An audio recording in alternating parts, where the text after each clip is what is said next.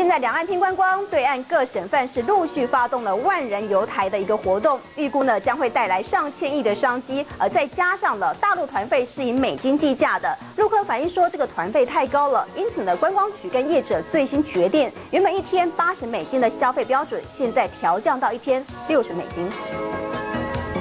两岸大三通后，走趟台北指标性景点，大陆观光客越来越多。台湾观光局规定，一天团费不能低于八十美金，目的在于维持旅游品质。不过不少旅客反映，团费还是偏高。开始一万多，我觉得好像有点高，现在七八千，我觉得还行吧。太低了，我觉得也也不好。就是线路有点紧，一天都得坐车。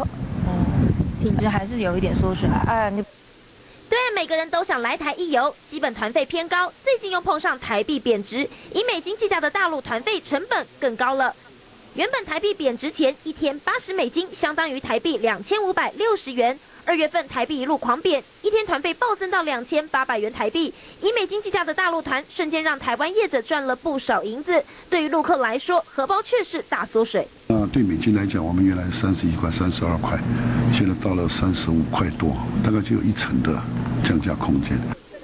局和旅行社业者十二号下午密会讨论最新决定，一天八十元美金基本消费调降二十五趴，改为一天六十元美金计价，有助于两岸拼观光商机。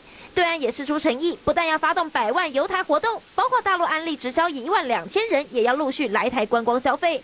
陆客来台基本团费调降，也预估将会再吸引三成以上陆客愿意再回到台湾游玩。中天新闻任一方台北报道。